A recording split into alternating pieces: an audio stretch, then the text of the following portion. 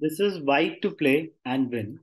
As you can see, the Stockfish engine, which is on Lichess, Stockfish 14 plus, is saying it's a draw. It doesn't see the win. So basically, white has a queen, but black has got two rooks and a bishop. And our queen is right now hanging. And there is no obvious check to give. Everything is covered. So that is why, and the pawns are coming this way.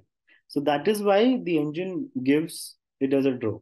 So the line that engine gives is queen e5 and just rook g5 and then some waiting moves with the queen and the rook where black doesn't commit and white also doesn't commit.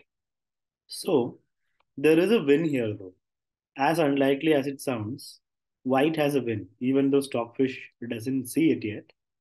We can play. You can see when the evaluation changes, when stockfish realizes that there's a win. It's right now on depth 26. The winning move is, can you figure it out? So this is the time for you to pause the video and see if you can work it out. Why to play and when.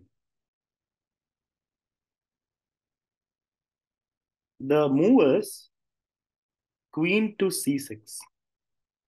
Now Stockfish sees it. It says mate in 8. After queen c6, it's mate in 8. So totally it was a mate in 9. Now, the idea is, okay, first we'll see what if king a7. Then we just play d6 and we're going to give mate. It just, rook g7 is just a check. Doesn't do anything. And it's going to be mate. So after queen c6, rook will take, right? Now we take back. And after king a7, how are we going to win? Because the black pawn is going to promote, right?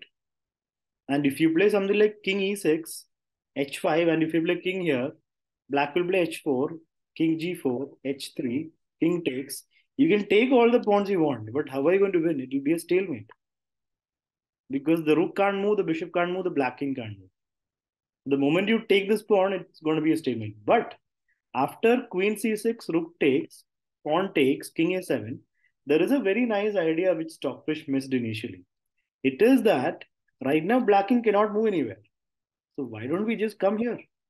h5, we don't come to the pawns, we come here to a5. Why? We want to play b6.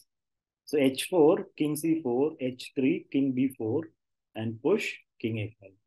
Black can promote, but we are giving mate. Takes and takes, checkmate.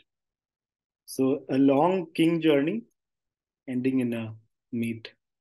And uh, we have the time to do that because the black king is stuck and the pawn takes five moves to reach the end. Starting from this queen sacrifice, it's a very nice sequence of moves that is leading to the mate.